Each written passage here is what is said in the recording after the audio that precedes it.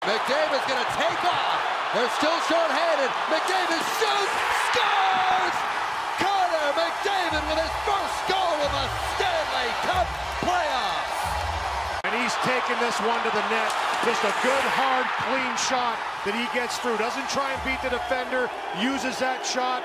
And what a goal for the youngster. His first in the Stanley Cup playoffs. A huge one for his team. Two shorthanded goals, and they have a 2-0 lead. Can't get it to the nets.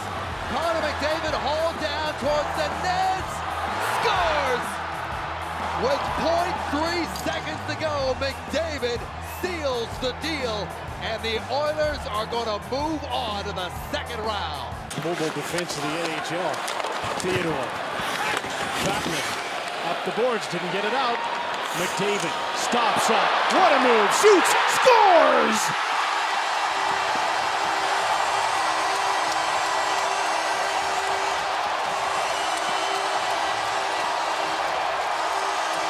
Absolutely amazing. Turned on a dime and tied the game 3-3. And up the middle, Silfverberg tipped the puck.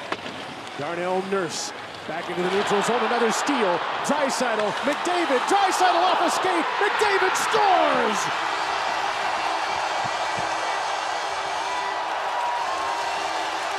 And they were really mobile and taking chances. Here, Manson bobbles the puck. It goes right over his stick, creates the two-on-one, and there's another fortunate break as Theodore ends up stopping that pass across.